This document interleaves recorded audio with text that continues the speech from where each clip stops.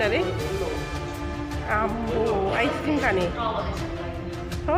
ऊ सानो नानीलाई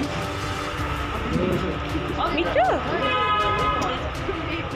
आज दिनाङ्क पच्चिस चार दुई हजार बाइसको दिन हामी खरसाङको सेरोफेरो एउटा हामी एउटा फेसबुक फेसबुक फेसबुक लगायत एउटा सानो अर्गनाइजेसन हो।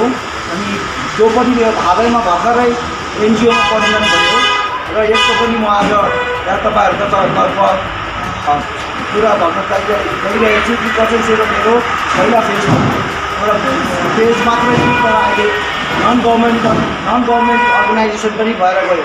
र यसैको तत्त्वधानमा आज हामी हाम्रा सानो नानी जो चाहिँ पङ्गाबारी बस् पङ्गाबारी बजारमा बस्नुहुन्छ जसको नाम हो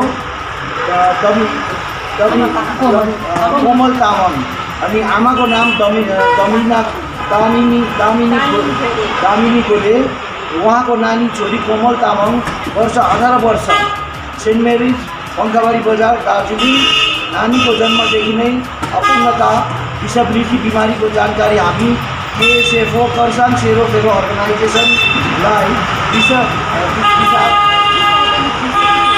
सर्टिफिकेट नम्बर फिजिकली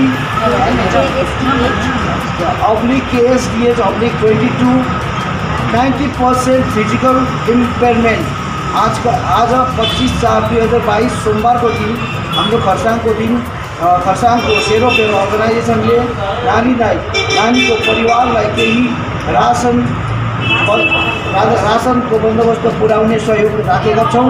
साथसाथै उहाँलाई एउटा ह्यान्डिक्याप सर्टिफिकेट पनि दिइरहेछौँ र यसको हस्तान्तरण हाम्रा खरसाङ सेरोफेरोका प्रेसिडेन्ट श्रीमती सुश्री प्रमिला यल्मो गुरुङले नानीका आमा श्रीमती दामिनी कोलेलाई गरिरहनु भइरहेछ।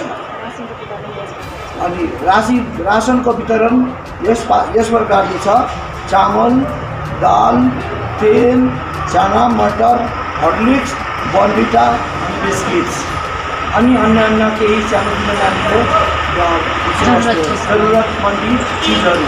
धन्यवाद तपाईँ तपाईँहरूलाई अनि यसै मार्फत तपाईँहरू जानु सक्नुहुन्छ। आज हामी खरसाङ सेरोफेरोले अ, कति काम गरिरहेछौँ र तपाईँहरूलाई पनि हामी अपिल गर्दछौँ कि यसरी नै यस्तै कामहरूमा हाम्रो हामीलाई साथमा साथ गरी मिलाएर हामीलाई यसरी अघि बढाएर हामीलाई पनि सहयोग पुऱ्याएर सहयोग पुऱ्याएर यसरी हाम्रा हाम्रै दाजुभाइलाई यस्तो सहयोग पुर्याउनु हुन्छ भन्ने आशा राख्दछु भन्दै मेरो सानो वक्तव्य यहीँ शेष गरिरहेछु। धन्यवाद।